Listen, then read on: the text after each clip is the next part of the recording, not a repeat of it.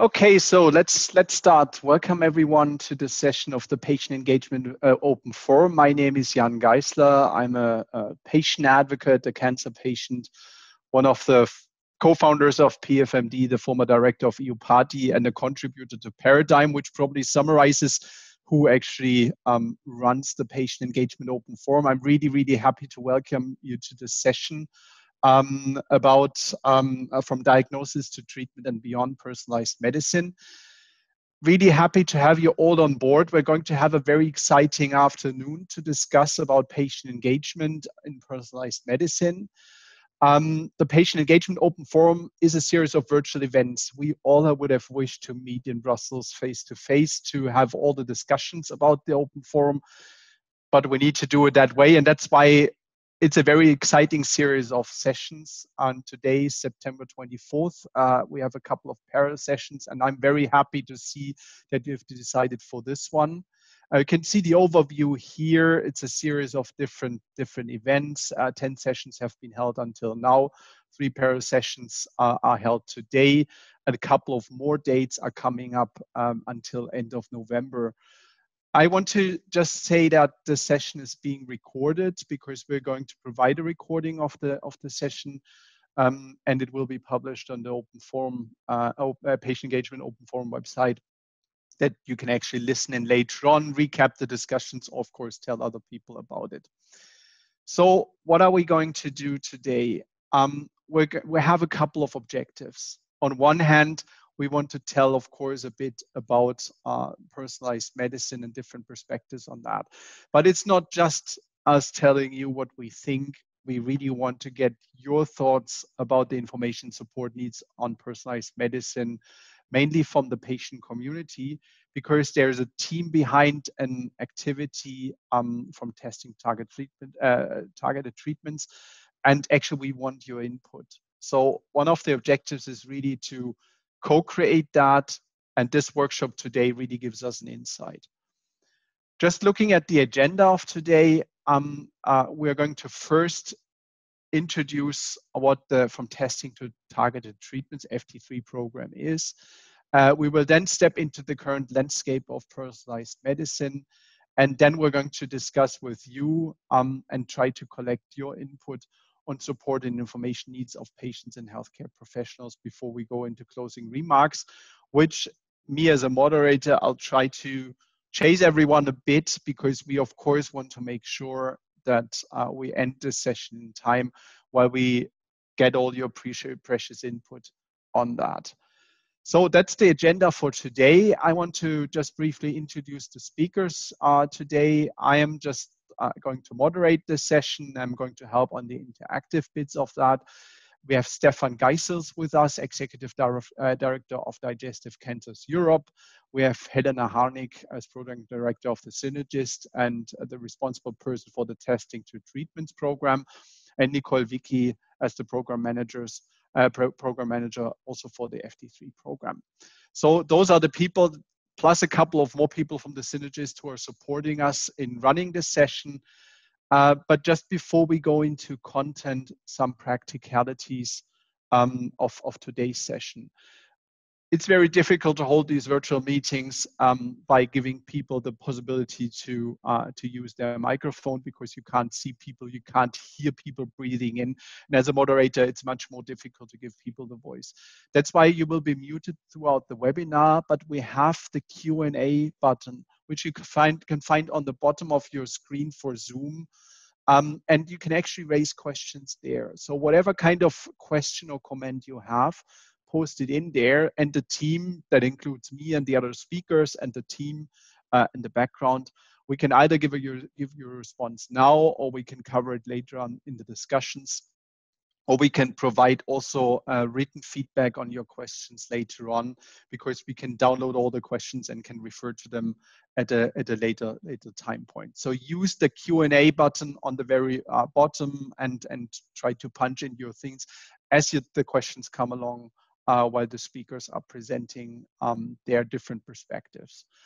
Um, as said, the webinar will be recorded and will be made available on the Patient Engagement Open Forum website, so you can recap uh, what, what we do.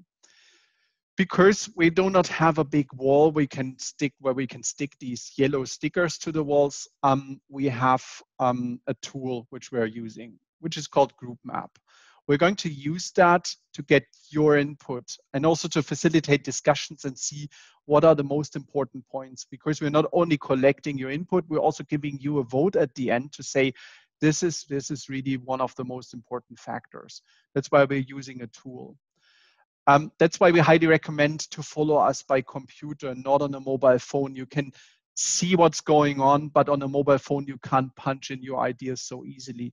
So I would really recommend if you're not already here with your computer, that you probably try to connect the computer um, at least for the last uh, last hour of the meeting, that you can actually um, uh, type in your ideas and also help us vote for the most important things that you feel uh, are important. Um, we're going to provide the link in the chat window, which you can find also at the bottom of the screen next to um, question and answer. So we're going to provide a link on which you need to click. And one of the technical challenges you're going to have in this meeting is having Zoom, this video conference on one, uh, one window, and the browser with the interactive things in your other window. All you need to do is actually click on the group map link and enter your email address uh, because you will also get an email to that email uh, address with a link that if you drop out, if your computer battery fails, whatever happens, that's the way you get uh, back onto the group map as well. So that's that's what we're going to do. Um, so first of all, I see that we have in total 63 participants plus the panelists in this meeting. And of course, we want to know um, who you are and what you do and from which stakeholder group you're from. So your first exercise is actually that now you're going to get a link in the chat window. Um, I hope you can all find that. Um, just click on chat on the bottom and there's a link which is called join.groupmap.com slash and then the number you can see on screen. And if you click on that, you will actually see um, the, um, the group map in your browser. And please um, answer. You've got now got three minutes. Please answer to that um, to those questions because we want to know what kind of stakeholder groups you come from, how many people are from academia, from patient organizations, from uh, from pharm pharmaceutical industry, policymakers, and so on. You see all the categories there. We want to know what's the main geographic scope of your work. So the main thing that you do, of course, you might do things local and European, but what's the main thing that you do in your pharma or advocacy or academic work? And also which kind of disease areas you mostly are mostly relevant to your work? You might be a, uh, on multiple but you might have a focus. That's what we want to know. I'm going to give you two and a half minutes to answer that survey now '"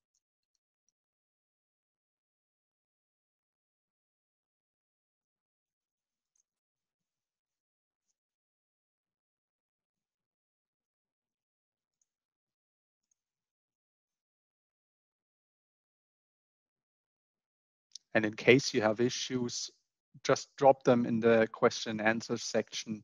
And we're going to monitor that and also respond to that if there's an issue.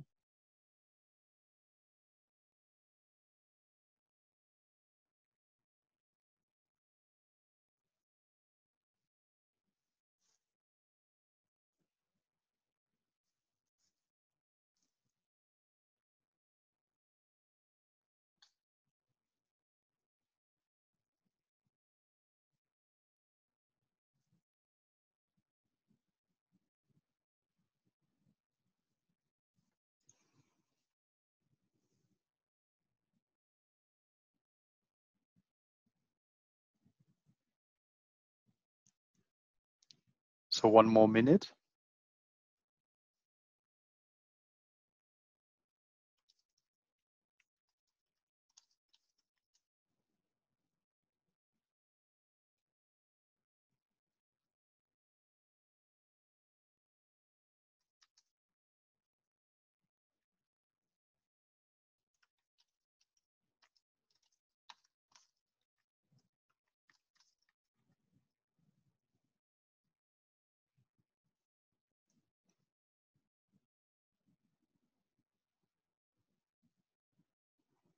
30 seconds.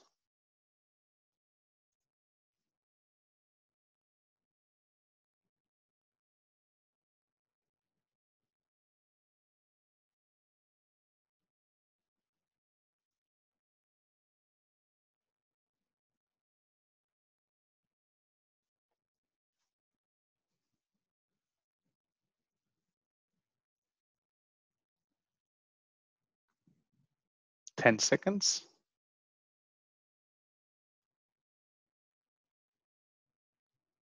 Okay, we're done. Thank you so much. And now looking at the results, you should be able to see the results now.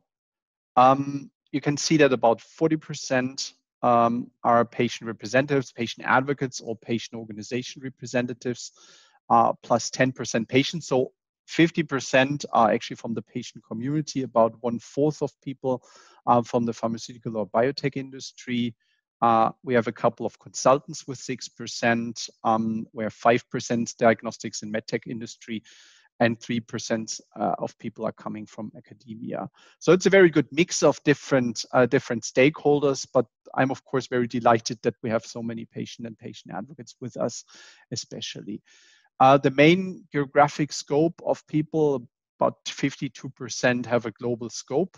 Um, so really not just Europe, but global and about 10% are mainly focused on the local level, another 16% on national.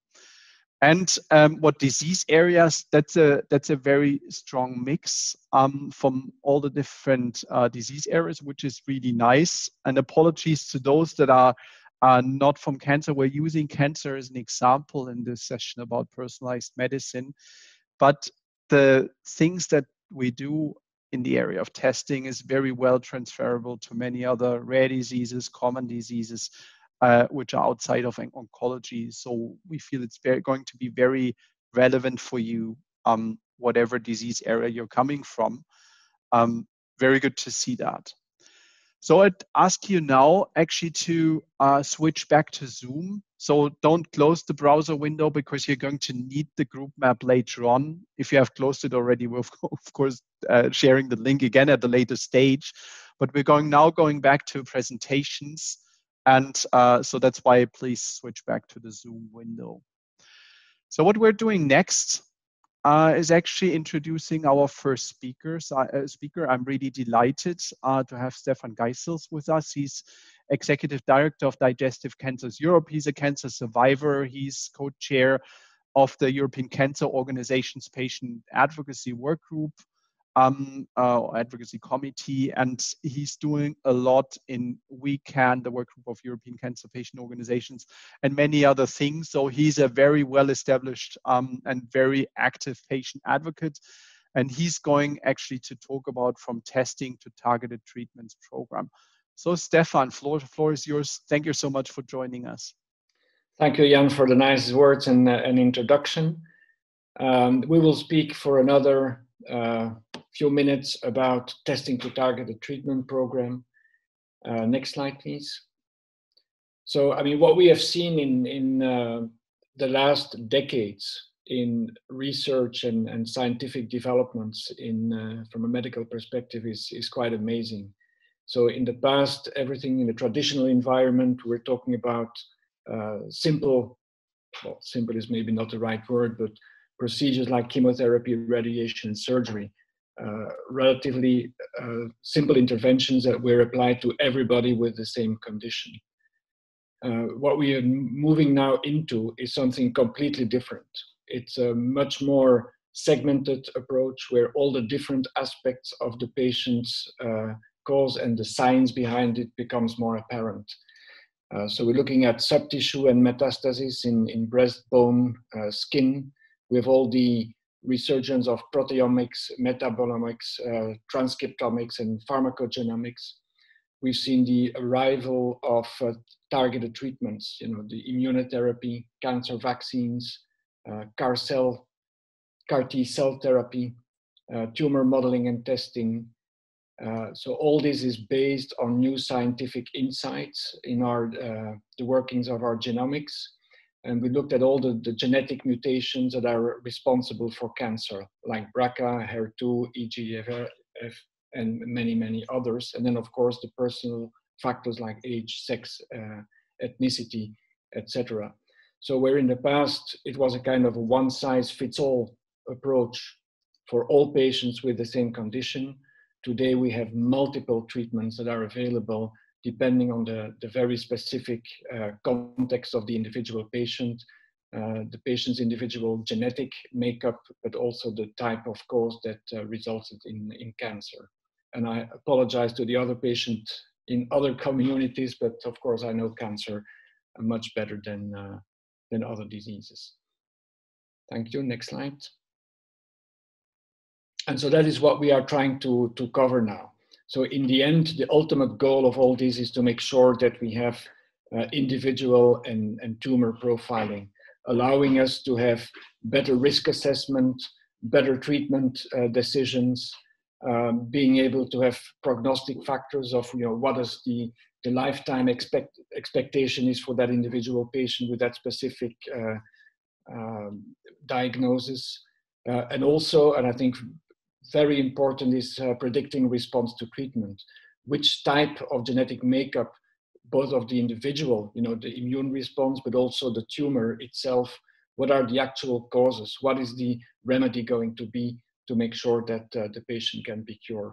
And then, of course, also predicting adverse events. So, what in the past was like a blind approach to treating the patient and hoping for the best, what we will see in the future is that it will be much more specific uh, much more targeted, much more effective, and as a result, also uh, a lot more efficient. And next slide. So what we've seen in the past, and uh, for those active in cancer, we've seen 170 new drugs um, approved in the last 20 years, and the number is, is uh, significantly increasing. We have twice as much in the last few years as we had in the in the first uh, 10 years. And we see the same with the, the science and how it's moving forward. So this is a, a very nice visual coming from an, a Nature article of last year. So you can see that in, in uh, cancer, so the targets that our uh, research is being conducted on has doubled uh, between 2017 and 2019. And so you, you can see that today there's probably more than 500 targets uh, in the pipeline for drug discovery. And I think these are amazing facts, and I think it's uh, very nicely presented, and it shows the complexity of our body, the complexity of disease, and uh, the, the, the, surgical precision with which new development, new drugs are being developed, new treatments are being developed to be able to have a personalized approach to, the, to the individual patient. So this is a fascinating evolution, and we hope that it will bring a lot of new uh, treatments to the market in the coming years. And then as an example, because I think it's very important in all this to, to listen to the patient. And uh, we will now listen to uh, the testimonial of Leslie Manot. She's a lung cancer uh, patient from France. And uh, she's somebody who's a, a, wonderful case of how personalized medicine can help individual patients. Um, Leslie, the word is you, the floor is yours.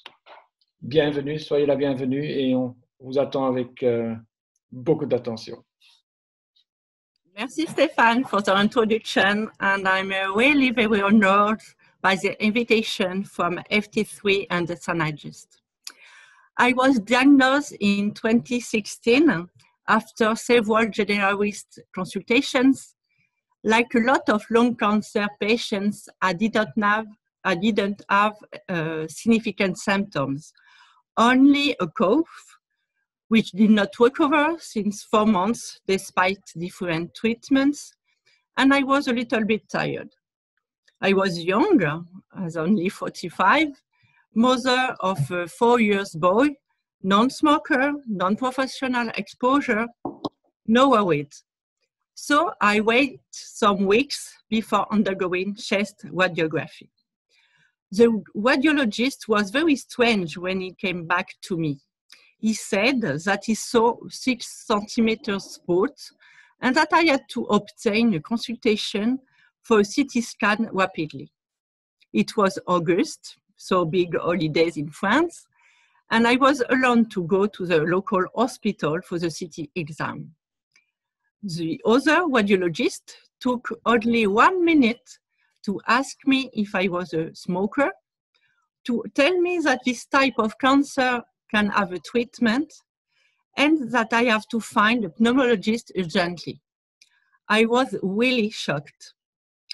So I asked advices to my friends to find the best university hospital in Paris to treat a lung cancer.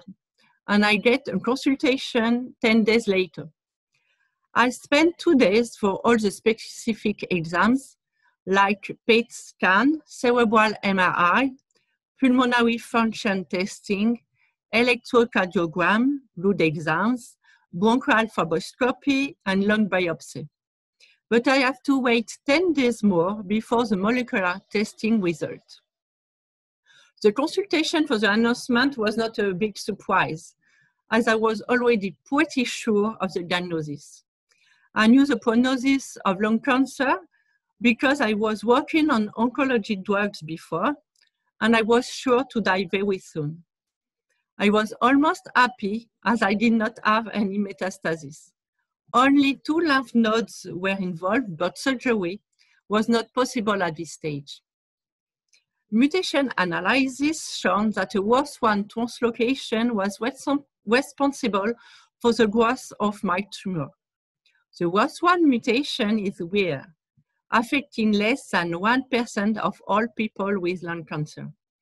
I was very lucky because four years ago, not all the French hospitals tested this mutation.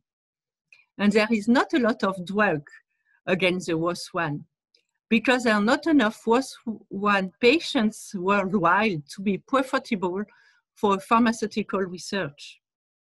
A few targeted treatments developed for other translocations were available for ROS1 patients. Hopefully, as I was in a major treatment center, I had access to a new drug. This was a targeted therapy, not yet marketed in Europe, but with an early access program in France. Only two pills per day, and light digestive disorders as adverse events. Hospital checkup every three months. I was very surprised and I found that it was really easy to be a cancer patient nowadays. And it was effective on the tumor.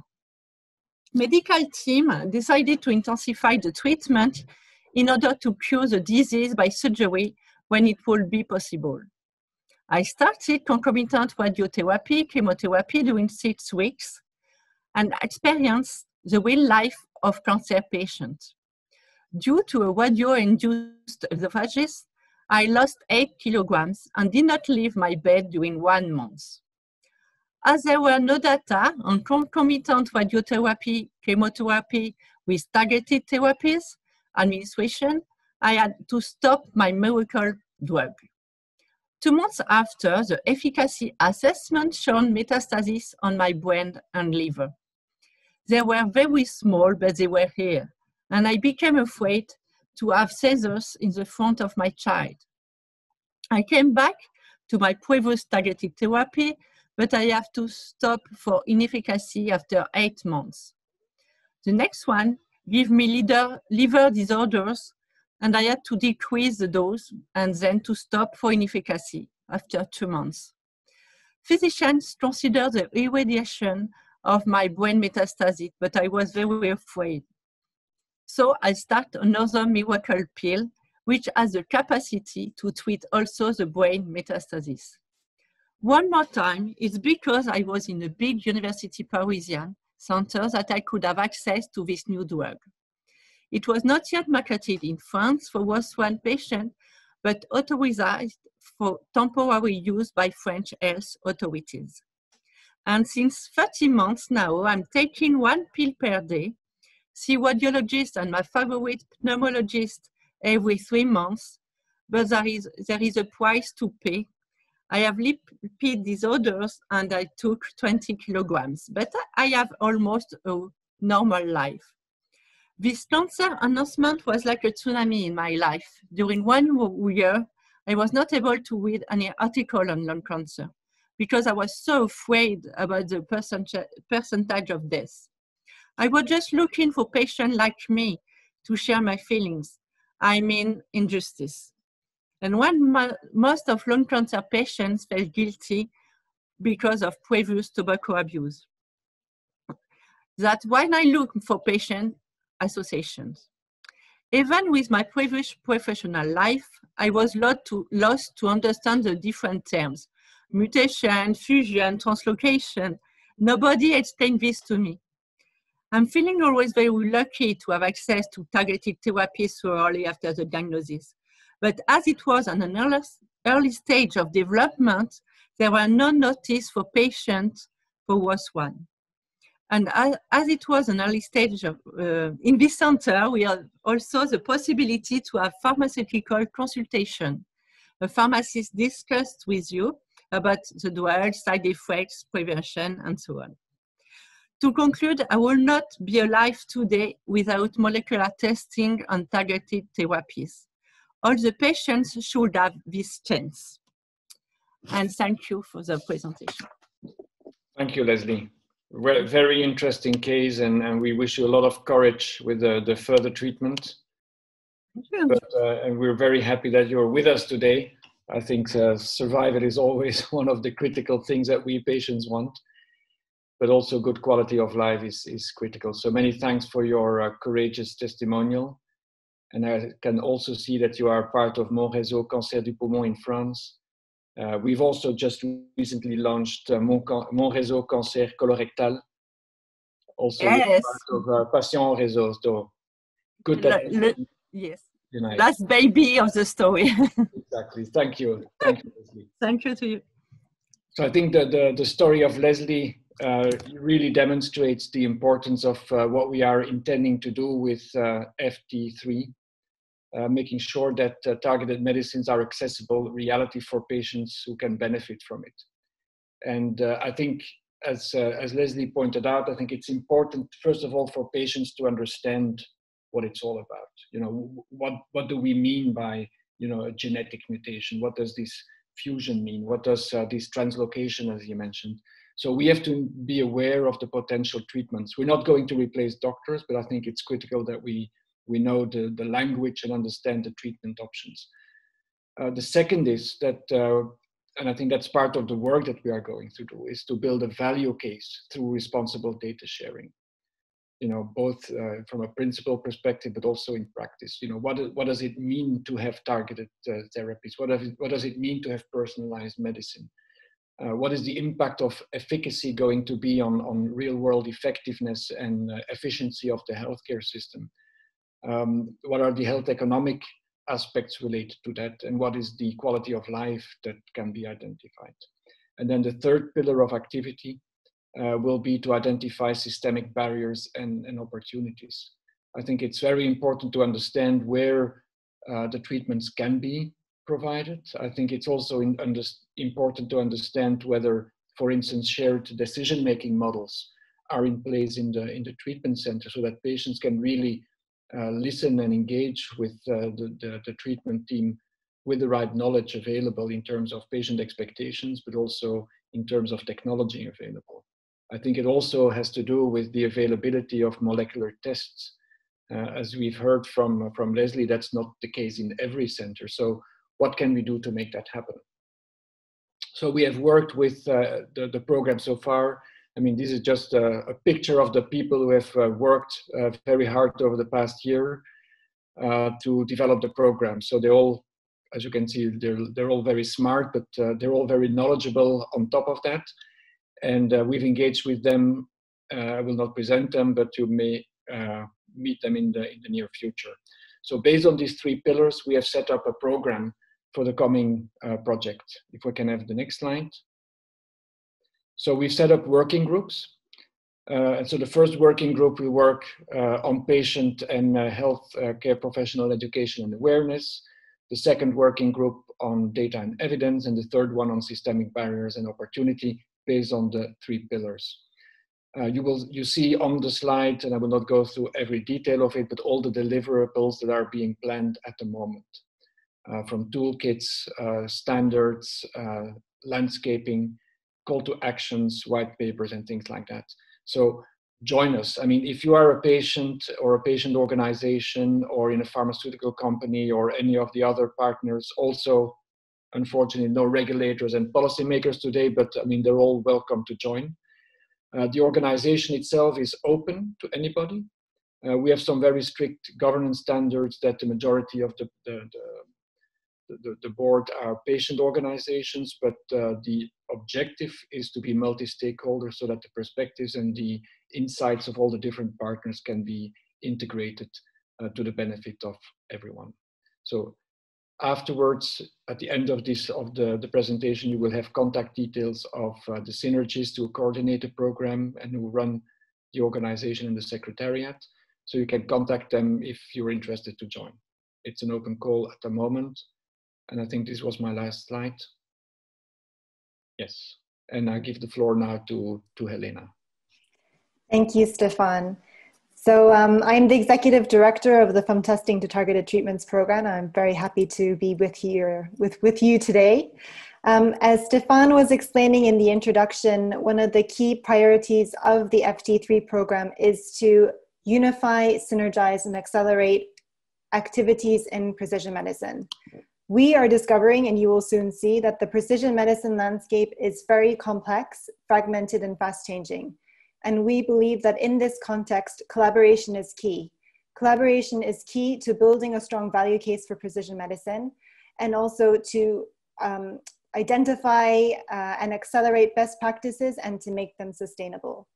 So having said that, the members decided that one of the first activities would be to begin to map this complex landscape.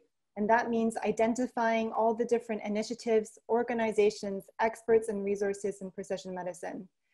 And we would be doing that not only to inform our own first deliverables, but also to be able to share that back with the precision medicine community and with the patient community. And we would like to make that available also through an interactive and dynamic platform that we are calling for now Precision Medicine Synapse. And we are hoping to launch this interactive platform by the end of this year or the beginning of next year. Those of you who are familiar with the patient engagement synapse will know how impactful this platform can be. The idea today is to show you just a snapshot of the first research we have done. I want to emphasize that we have not done an exhaustive research yet. The success of our research is really dependent on the amount um, and quality of the research that we're able to collect, and we really rely on your support to be successful in this regard. In terms of the methodology of the research we have done so far, we have started with information that has been shared to us by partners. Um, this might be resources or interesting publications that they have reading, presentations, and so on. And we have combined that with some of our own online research of publicly available information. We have mainly been searching in English, although sometimes we have complemented that with some other languages where we have some additional language capabilities on our team. In terms of geographic scope, we have focused, uh, we have not focused on any particular geography.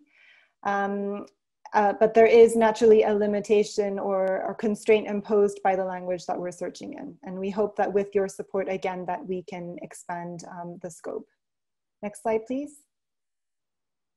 So the precision medicine ecosystem is, is very extensive. We have been looking at many different aspects of it. We've been looking at different types of stakeholders and activities within uh, precision medicine, anywhere from patient organizations to diagnostics and pharmaceutical companies, to identifying what are the different initiatives and projects out there, what are some leading experimental medical centers, hospitals, and so on. And for each of these, not just identify who they are, but also understanding what is it that they're doing and their focus areas and the people behind it and the outputs that they are creating. And really trying to make a sense of this and comparing and con contrasting them to identify potential synergies and maybe some gaps where no one is working where we really need to pay some attention. Next slide, please. So if we uh, take a look at multidisciplinary initiatives as an example, So here is just an example of the kind of um, further research that we would like to do. If we take a look at the multidisciplinary initiatives and look at their primary focus, so we have really simplified this and of course that in reality their activities are much more complex but we are looking here at three different areas of activity, education and awareness, data and research, and policy. And we can begin to try to identify which each of these uh, projects and initiatives fit and start to compare and contrast them. We have, for example, the International Consortium for Personalized Medicine, which you can see at the bottom.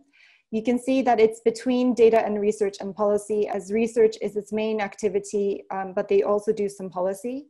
It's an organization that was established with and working with the European Union. Its members are research and policy organizations and ministries of health, and its geographic scope, of course, is Europe. In contrast, you can see a little bit to the right is the International Cancer Genome Consortium. This is, it's an international consortium and it's firmly focused on data and research. This is a consortium that's solving challenges to make global genomic data sharing for cancer possible, providing the international community with comprehensive genomic data for many cancer types. So again, this is just to give you a flavor of the kind of research that we can do to try to understand the precision medicine landscape and importantly, to understand opportunities for potential collaboration. Next slide, please. So perhaps what is more immediately relevant to the discussion we're going to be having today, we have also been looking at what resources already exist when it comes to precision medicine and looking first at patient resources and also resources for healthcare professionals, which I will come to the next slide. Um, here we were looking at two different factors, the geographic scope, which is where that patient resource can be used and not where the patient resource has been created um, against all the different kinds of information that patient resource provides to try to understand what is out there and again where are there um, potentials for collaboration and maybe where there are potential gaps. So you can already see at a glance that there are many resources that we have found that are providing basic information about precision medicine. So in this aspect it seems quite strong. Another aspect that seems to be quite available in terms of information is information on genetic testing. However, based on the resources that we have looked at so far, it seems that there are fewer resources available providing practical support when it comes to precision medicine. Practical support such as how to prepare for an appointment with your healthcare professional or how to overcome access barriers. What happens, for example, when you identify uh, a mutation where there is a targeted treatment available, but it's not available for you because of reimbursement reasons and so on. On the right, we also have three examples of the resources that we have identified, and they're from three different types of stakeholders or organizations. The first one is from a diagnostics company called Blueprint Genetics. The second one is from a British cancer charity. And the third one is from a patient organization, LUNGevity, which is also one of the patient organizations that we currently work with. Next slide, please. If you go back one, yes. And then if you look at the healthcare professional resources, we can already see at a glance that there are fewer resources compared to patients. However, what was quite interesting was we discovered that of the resources we looked at, there were some that were very extensive, maybe a bit more extensive than the ones that we had identified for patients. So this is a good sign. We were looking at whether the resources provided guidance on how to interpret data, did they provide clinical decision support tools, and whether they were providing general education and support for healthcare professionals. And we have again some examples on the right. Next slide, please. So again, the quality of the potential for the mapping is directly relevant to the, the quality of the resources and information and the quantity of information we're able to gather. And we really rely on your support to be able to do this. And if you can support us, this is also a way that you can help us identify gaps and needs in your country um, and also globally.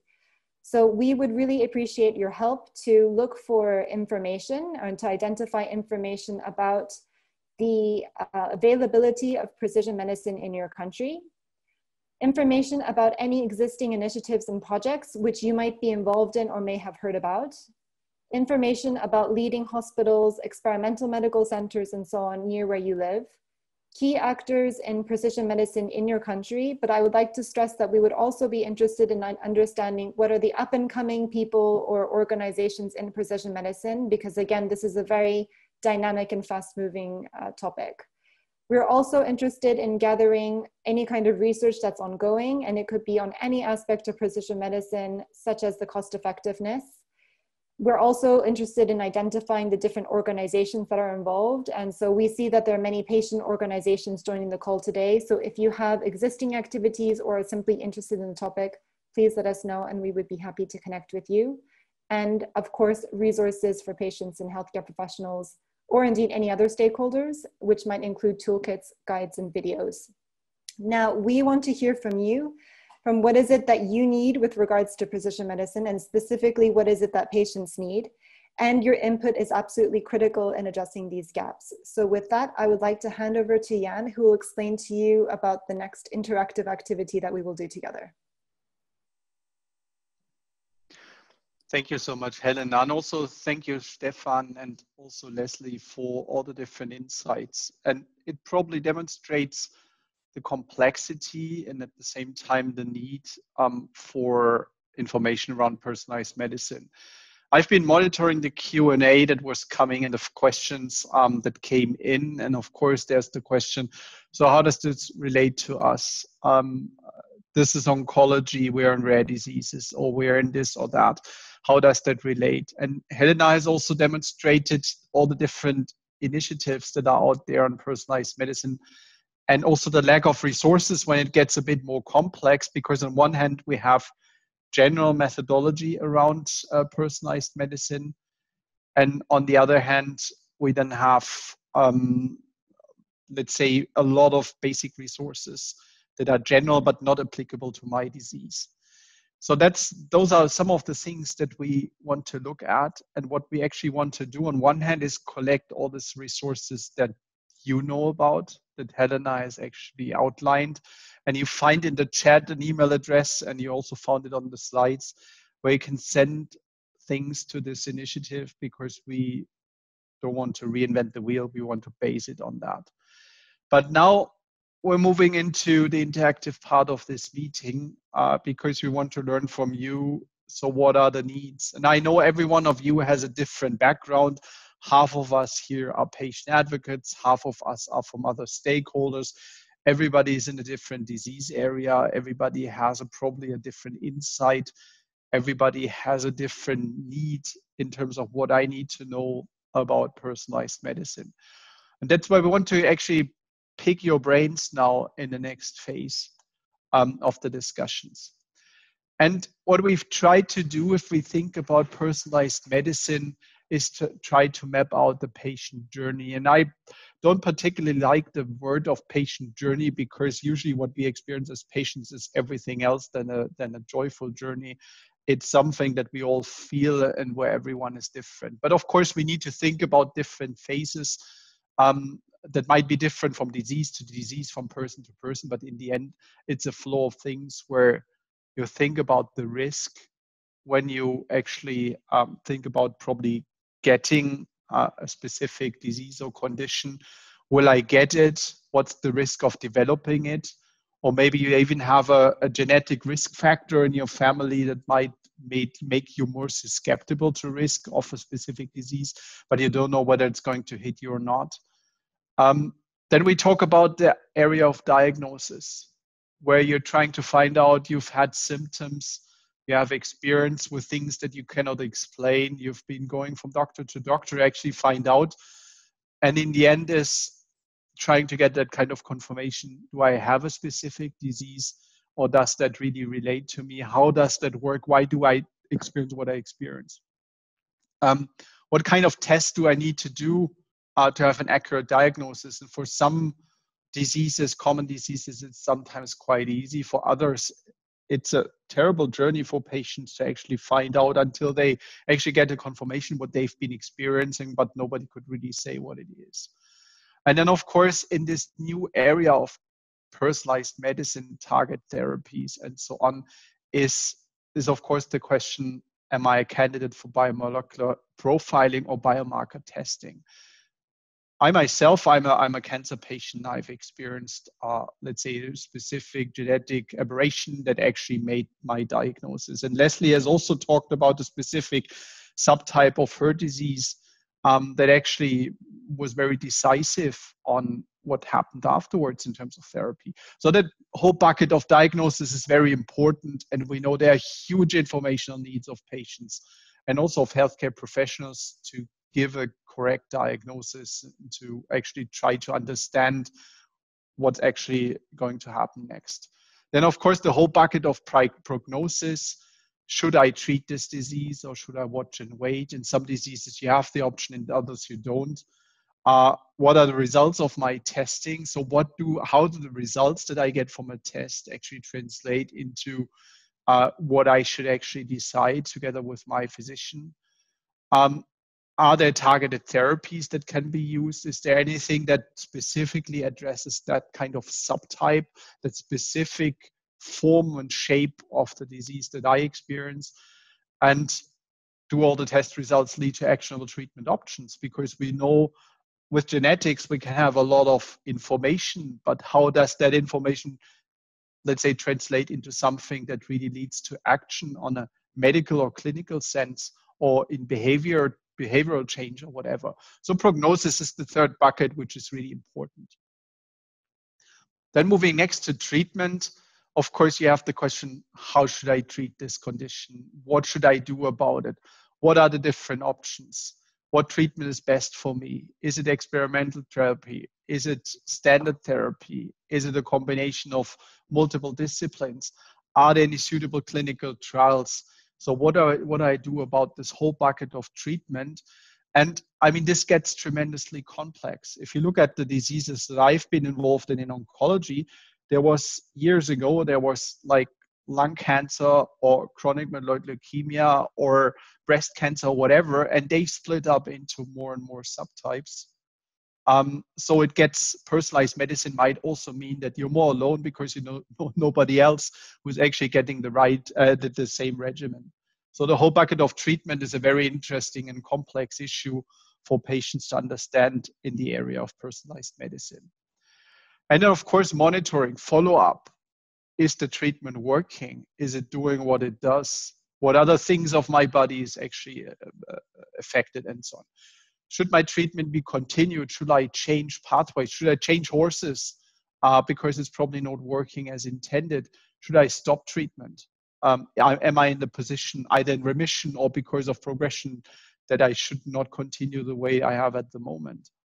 And all these kind of follow-up questions.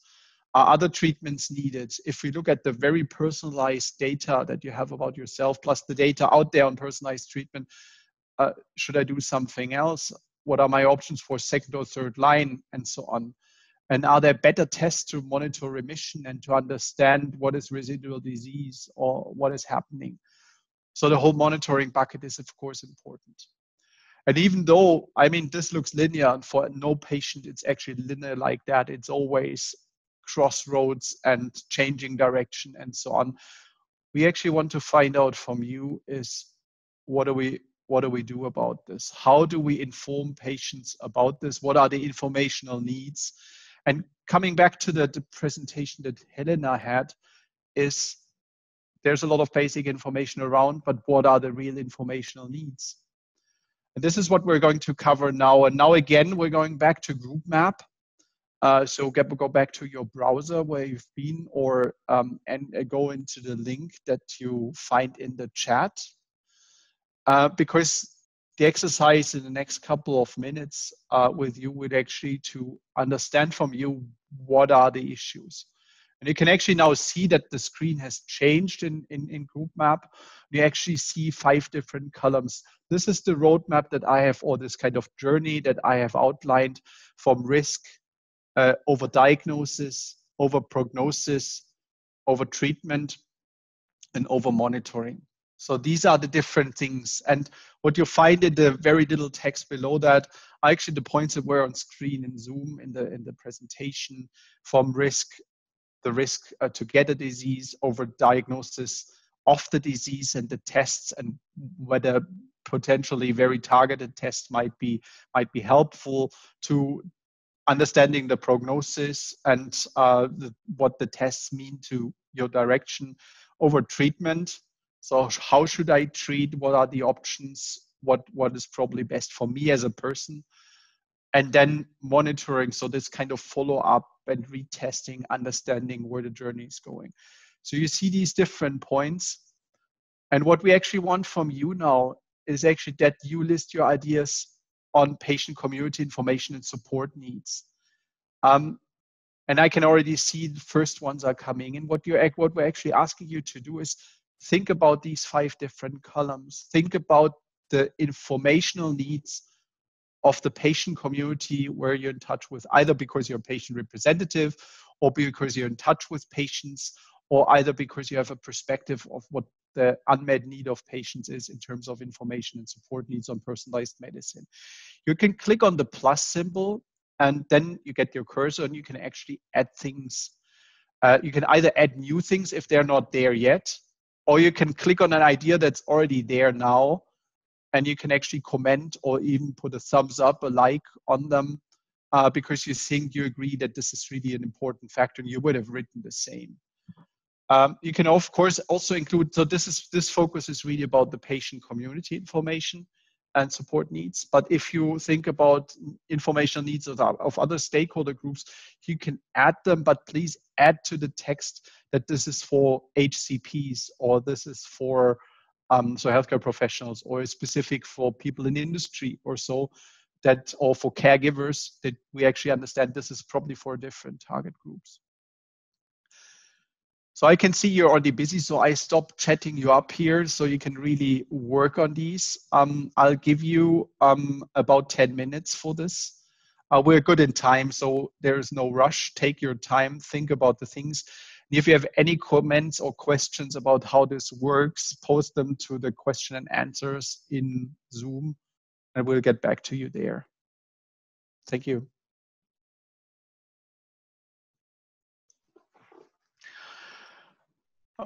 Okay, so thank you so much for being so active. I'm really, really impressed uh, because a lot of people have actually contributed. Uh, we have 83 people on that map, which is really great. And I would say we move to the grouping now. So if you um, can just bring everyone to the grouping stage.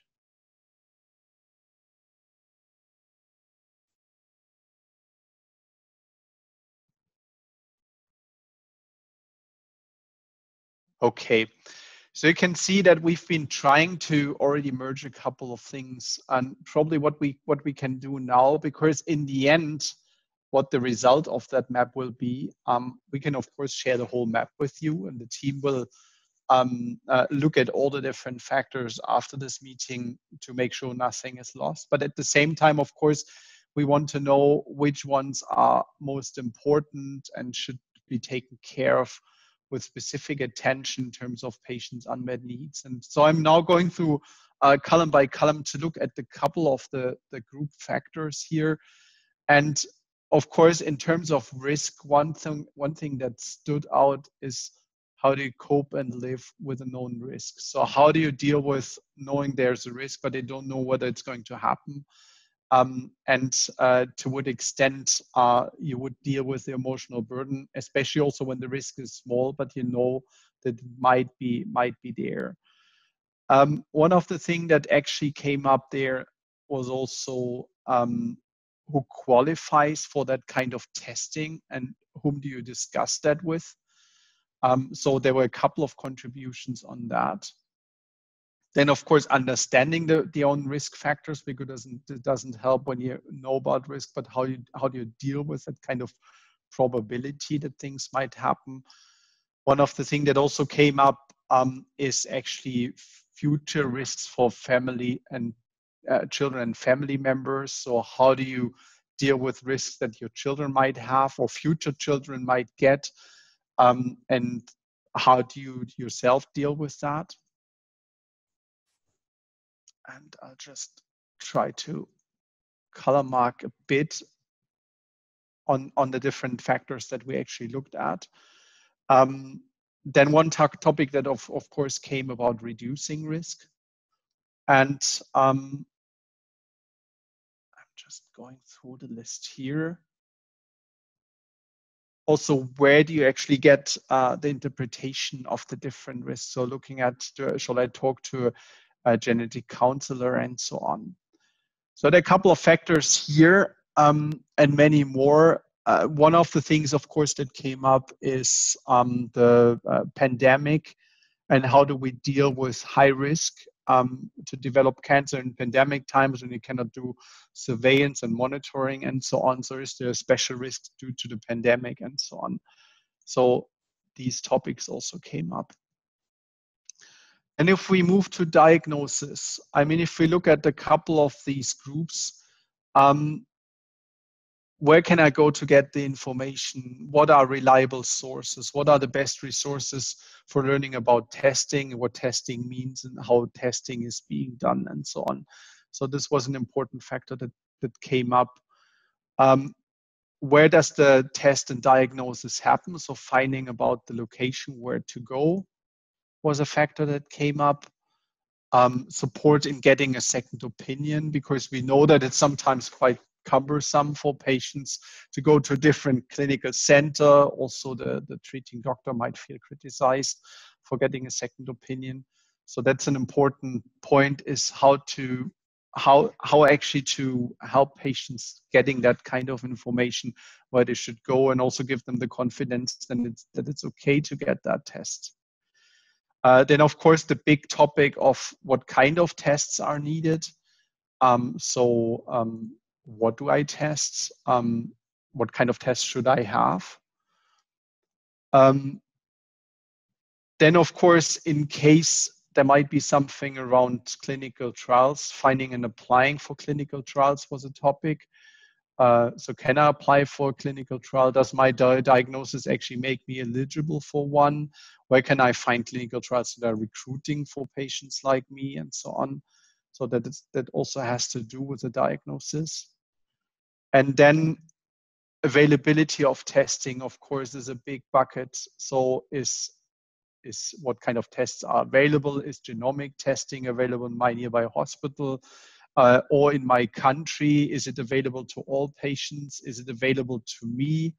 Uh, and all these issues around availability because you might hear about the test, but that doesn't mean that that doesn't mean that you actually have access to it. So these were a couple of points. Let's see.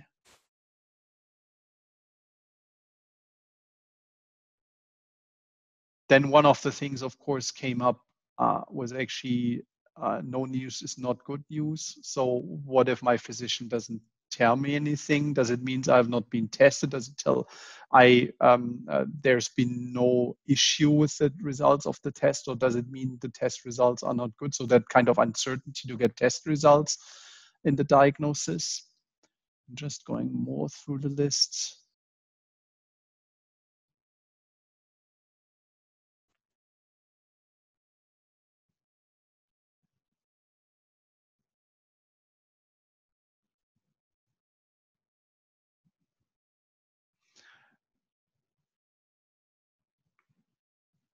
And then, of course, there's the whole issue around um, uh, economics. So how do I get uh, the test paid if it's not reimbursed? Um, how can actually, um, uh, how do I access it if my healthcare system is not offering them and so on. So the whole economics around that, of course, is also very important. So that's the second bucket of um, diagnosis. If we look at prognosis, um, there's one area of what to expect and potential benefits and risks. So what are the options? What side effects to expect? Are they acceptable? Do the negative effects weigh more than possible benefits of the treatment? What are the benefits and risks of my, in my personal case? So the whole area of benefits and risks in terms of uh, prognosis and what can I expect was something that was very, uh, very often mentioned. Then, of course, how to get a second and third opinion. We covered that in the other one, but that appeared very often here in that section too. Um, then, of course, there's the whole issue around accuracy of tests, where patients actually want to understand how, how accurate they are, are there mistakes? We read a lot at the moment about false positive, false negative, and so on. Uh, so that was a topic. Then how are tests communicated and by which, uh, which clinician? Because we know um, having a test result is one thing, but understanding it is a different story. Um, then a very important topic also for patient advocacy is how can I, as a patient, access other patients or relatives to talk to them about the experience with treatment? Um, so how do I actually understand that? And four people actually gave uh, four thumbs up for this for this topic. So it seems to be very important. How do I, especially in the area of personalized medicine, find other patients with a similar issues? Um, then of course, in terms of prognosis, when you know how the what the prognosis is, will there be psychological support, mental health support, um, or need patients find find it themselves? And um, then there's one issue about timing. So how soon after testing are results given and time allowed for treatment decisions. So the whole issue about timelines, which I think is very important um, because then decisions of, often need to be made in a very rapid way. Then, of course, can I have this target treatment for my for my situation, for my condition? So even if there's a prognosis, can I access therapies? And let me see, and I'm you probably see that on the group map. I'm color marking some of the these points as I as I talk you through them, just to highlight some of them which we which we've seen.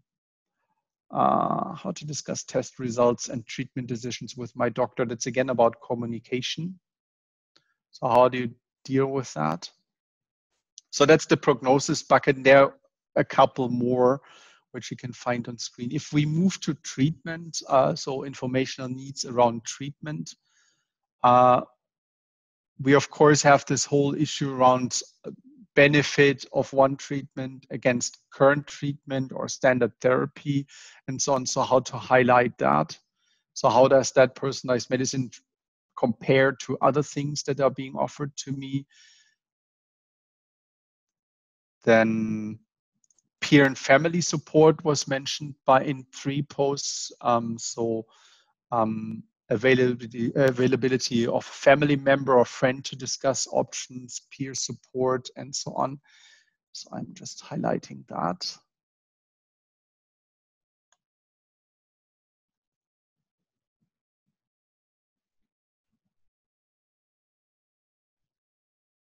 Then there's one one thing about how can I ensure that the treatment decision is based on best available evidence. So how can I make sure that what is suggested to me in personalized treatment is really evidence based and there there are justifications why actually that should be used. Then let's see. Of course, the whole area of questions about cost and reimbursement. What are the expenses? What sources of funding are available to me? If target treatment is not available, is it in general affordable? Um, is it covered? Um, then the whole issue around how to find out about clinical trials came up. So how can I, if we talk about personalized treatment, how can I find trials, clinical trials that might offer them or might actually test them?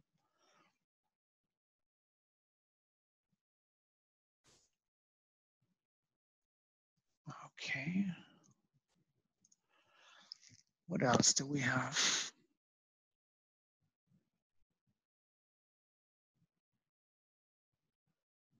What are the side effects of treatment is a very often mentioned concern of patients. Of course, they need to understand, and especially in personalized medicine, it's more difficult to find another patient with the same regimen and probably experiencing the same thing. So that came up. Um, what in case of comorbidities? So how, what role do they play in therapy choice?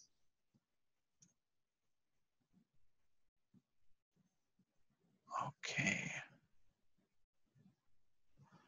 There's a lot about access in that column, and you can probably scroll through the different options here as well. Of course, the whole issue around uh, the treatment impact on quality of life which also has to do with side effects, but it might affect uh, other areas of life as well.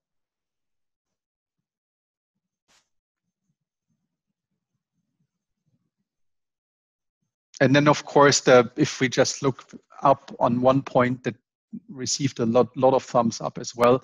If I chose one treatment, will the other treatment still be available to me later on? So does choosing one actually build bridges or build walls against other options that I might have in the future. So those about treatment options.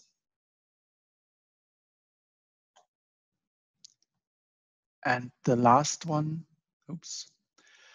And the last one, monitoring. Let's look at those. So what came up there how will monitoring actually involve digital tools and technology?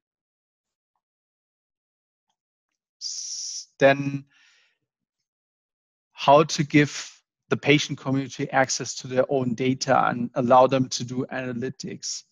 So how can the individual data that is being gathered actually also be accessed by the community to learn from it?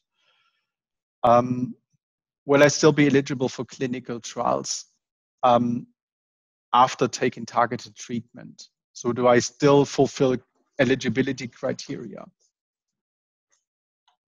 What else do we have? And of course, the whole issue about how long should monitoring be until the risk of recurrence is back to normal, but also the issue around uh, on personalized treatments, how long do we really need to monitor patients because we probably don't have much evidence around that.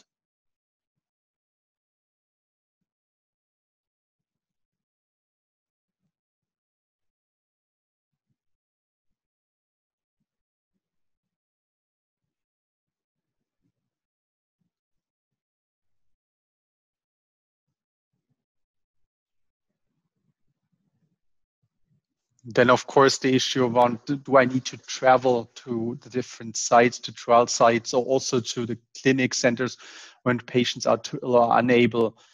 How do you do that in the personalized medicine setting?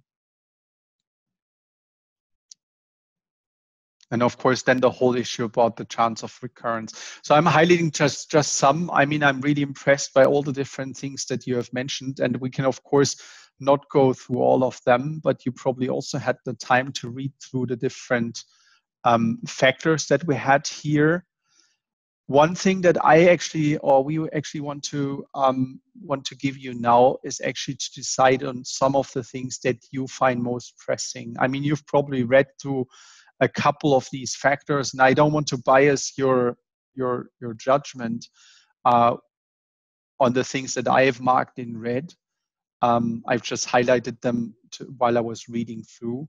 But what we are giving you now is actually some um, opportunity to again go through all the different factors and actually provide some votes. And you can actually see that the screen on GroupMap has now changed. Um, and you see this small gray bubble next to uh, each of the factors. So what you actually now have is each of you has five votes. It's actually the same like in a physical wall in a room. Just imagine all these things would be on a wall, on a yellow, on a post-it note or something like that. We have five of these round, small stickers. You go to the wall and actually stick it to the thing um, that you feel is probably of highest priority in terms of patient unmet need for information and support. So each of you now has five stickers and you can actually stick them to each of the different points by clicking on the plus symbol. Um, you see there's a gray area next to each point, and if you click on plus, then you actually stick one of these stickers uh, to that point. The good thing against a physical wall is you can take the sticker away without tearing off the whole paper. So you can also change your mind as you read through. So what we actually want to do now, because that will actually inform the team to really um, prioritize those informations that are, would be most helpful to patients and carers is what are the things that you feel is most important to do first. So now you have a couple of minutes again where you can distribute your five votes to any of the factors on the board. Okay. So time's up, which actually means we can go to results. It's so interesting because it's so different to uh, a face-to-face workshop. We can see people running around, taking their stickers and so on, and putting them to the wall. Now, when you look at the window, that's that's the interesting part because because you can see on which points um, you all agreed would be probably first priority, and as I said earlier on, this would not be, or this is not an exclusive list. So we're not saying the things that got most votes is the only thing that the initiative is doing, but it's it gives us an indication on what we should probably focus first, where the real unmet needs are, and so on. I'm just going very quickly through that, and you're going to get a report. You're going to get a picture of the of the uh, of the group map afterwards, so you can digest uh, the results, but it really informs the team. So just looking at the left column on risk, I mean, you can see the highest um, they're now ordered actually by, by number of votes. You can see highest rating on risk was clear explanation on the concept of risk and how lifestyle changes can Im impact the risk. Um, or health literature for the whole process from risk to monitoring. So really understand how to communicate um, the whole issue around risk and the whole process actually to patients. That got four votes um, clear guidelines for patients for genetic testing, determine risk and how to best access that, got three votes. Um, the whole issue around family members, family testing, got in total six votes if we just merged the two. So these are the toppest, top, top ranked things in, in risk. If we look at diagnosis, the first one really stand stand out which is where can i get the information? So there seems to be huge informational gap in terms of how how can i where can i go? What are the best sites to inform me? What are the best resources that actually inform me about getting the right diagnosis getting testing and so on? And of course the time points because we do not want to do tests at a time point where it doesn't make any sense or doesn't really give us direction. So information about what moment or stage of the disease should I get biomarker testing. But then that got uh, five votes, and then there are a couple of points with four votes. But we can see just by the number of votes, it seems like most people actually put their stickers to the diagnosis column. And probably we're, after this call, we're going to add them up vertically and see but my gut feeling at the moment is the left two columns got most votes overall. Then going to the next column, actually on prognosis, how can I access other patients to talk to them about the experience with treatment? So the classical issue around patient organizations, online communities, and so on.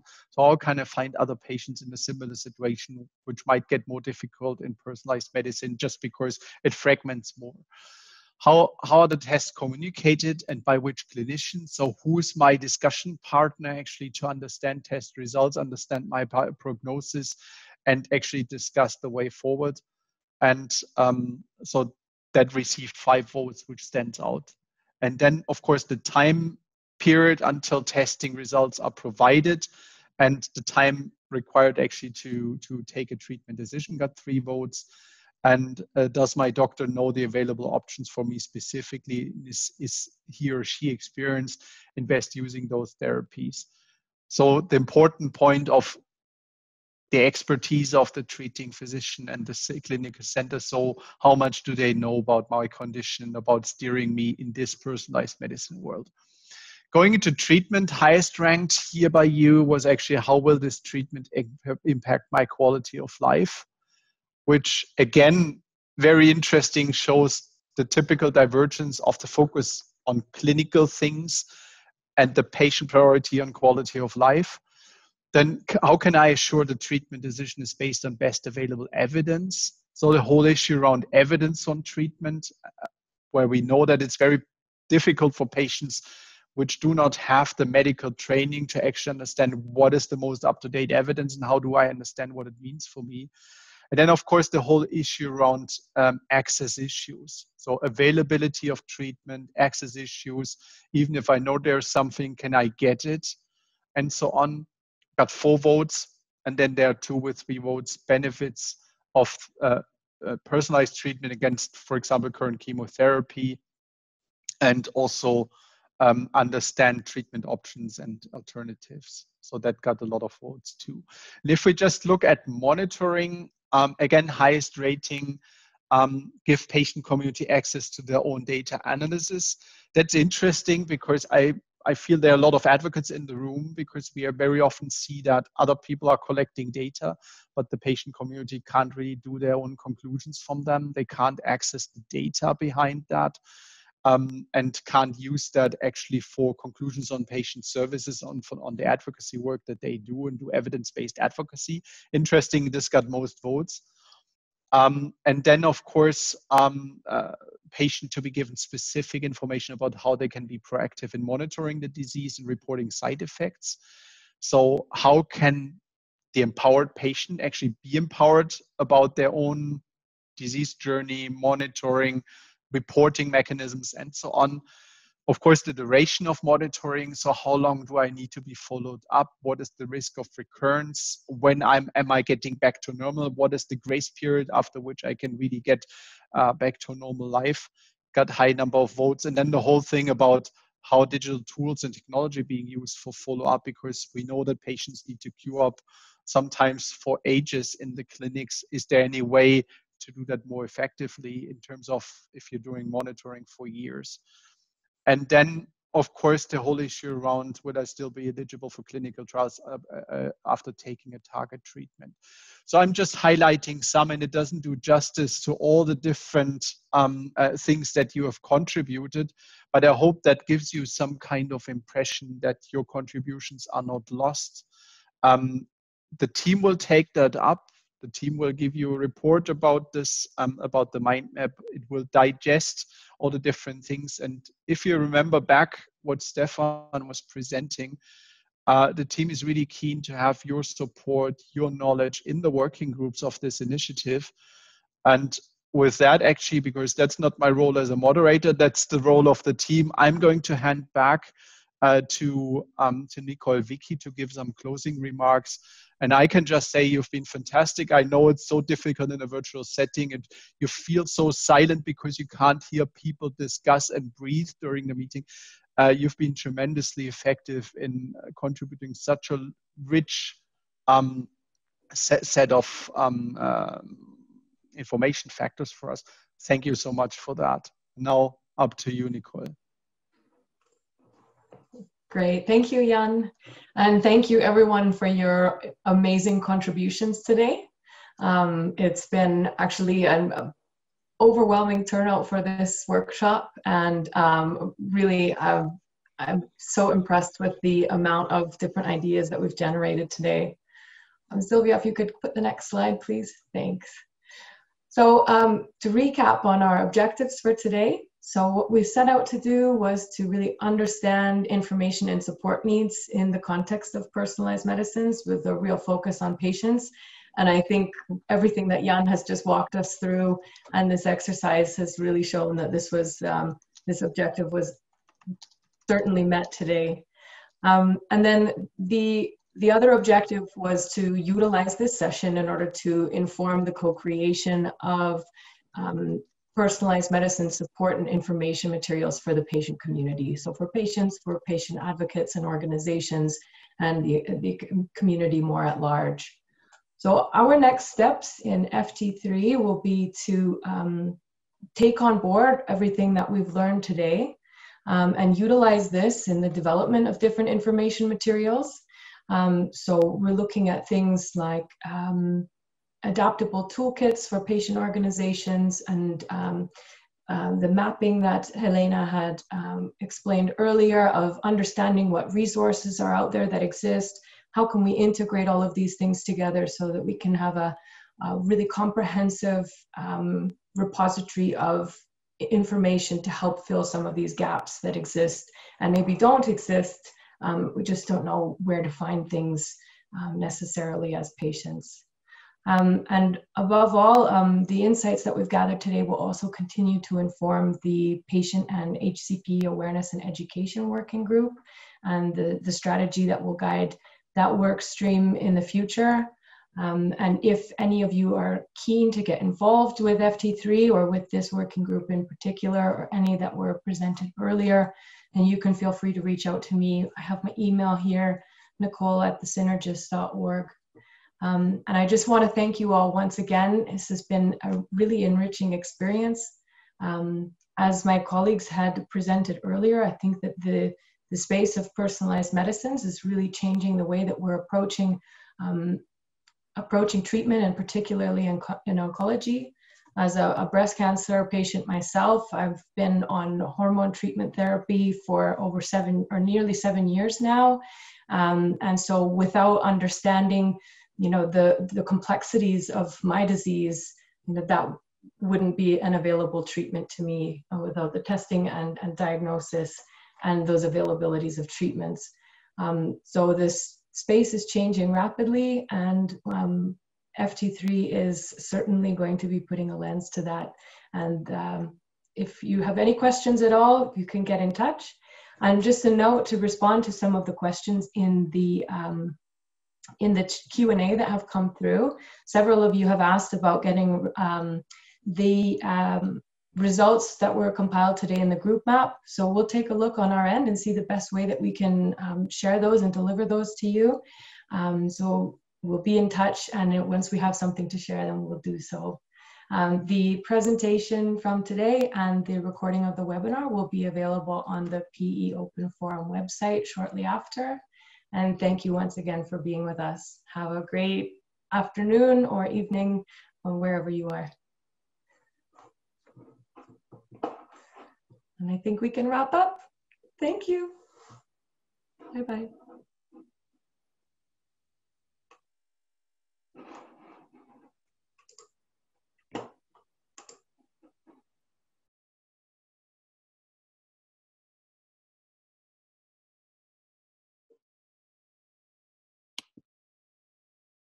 Do you want to have a quick chat to end?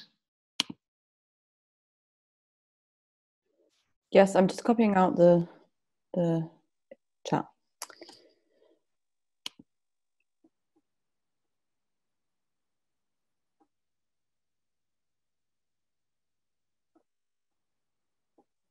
Yeah, just checking the last few Q&A that came through.